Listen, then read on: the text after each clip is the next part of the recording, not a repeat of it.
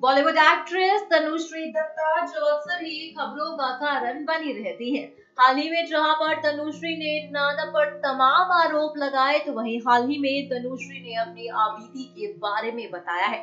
दरअसल तनुश्री ने बताया है कि 10 साल पहले उन्हें कैसे हिम्मत मिली थी। आपको बता दें कि तनुश्री का कहना है कि 10 साल पहले अपने सबसे अच्छे दौर में मैंने बोलने की हिम्मत दिखाई थी।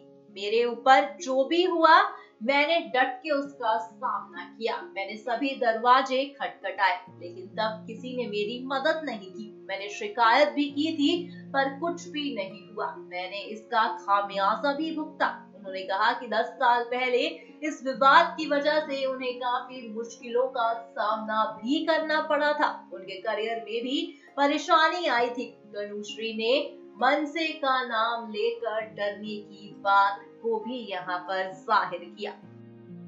नेक्स्ट फाइव न्यूज़ रूम से नैन्सी की रिपोर्ट